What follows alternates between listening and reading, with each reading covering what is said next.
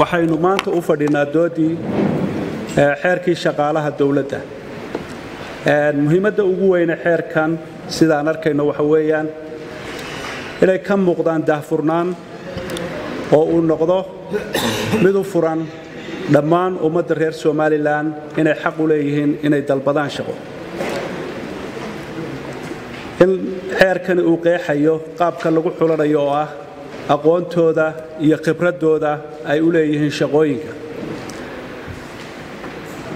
Waxaa kale oo muhiima in la eego dheelitiranka shaqaale ee deegaamada somalilan oo isaguna xeerkan loo baahan yahay inuu si fiican u qeexo. Kama xishoonayo inaan idhaahdo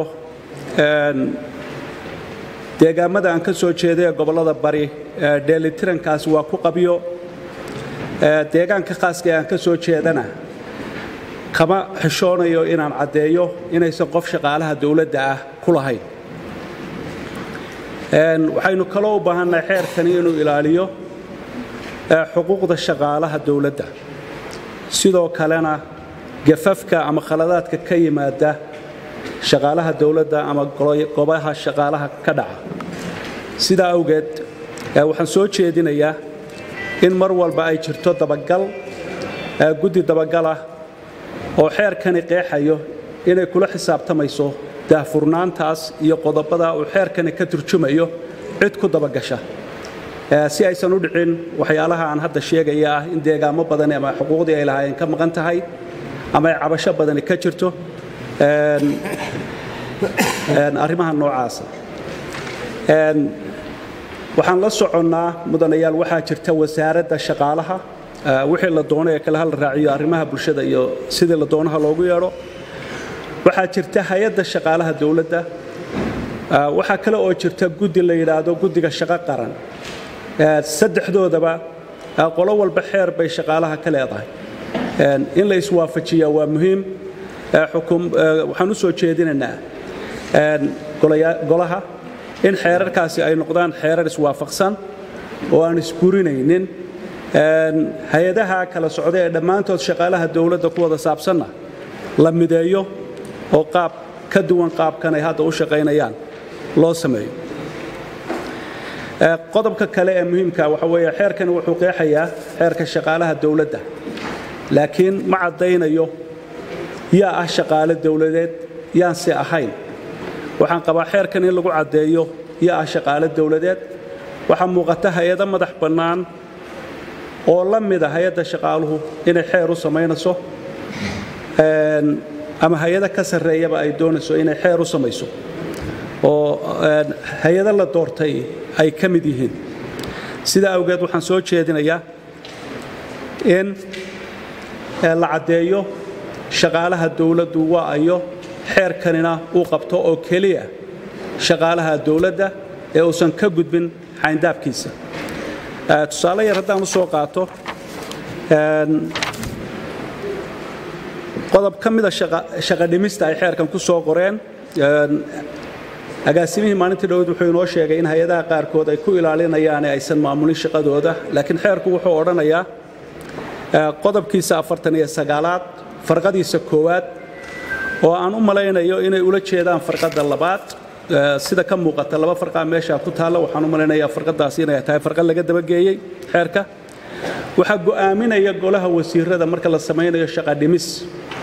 Marka taasi de waxay qabanaysaa hay'adihii ka madax bannaanaa ee ay lahaayeen shaqaanu u samaynana sidaasi la mid ah xadka adeegsiga xeerka kan qodobkiisa qodobka afraad farqadiisa afraadi waxay sheegaysaa in xeerar kasta oo kale oo jira oo xataa yihiin xulasho oo madaxweynuhu sameeyey inay burayso oo uusan xeerkani qabanaynin.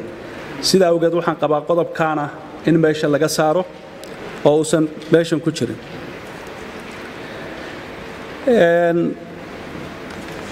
Qodobka afraad silqodobka afraad farqadiisa toddobaadi waxay qoraysaa inaan qoreen inaan xubno ay jiraan aan xeerkan lagu dhaqaynin oo kooban xubnahaasoo ku cad qodobkaas. Waxaan soo jeedinayaa in xeerkani uu noqdo xeer lagu dhaqo hay'adaha uu quseeyo iyo shaqaalaha dowladda sida uu u qoran yahay oo ah xeerka shaqaalaha dowladda somalilan. Inuu ku koobnaado xayndaabkiisa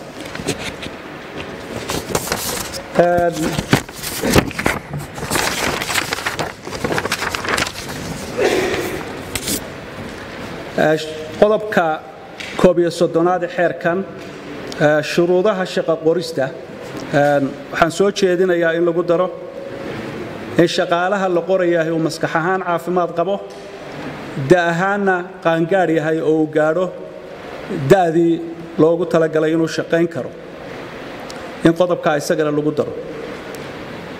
Qodobka lix iyo labaatanaad ee xeerkan wuxuu qorayaa agaasimayaasha guud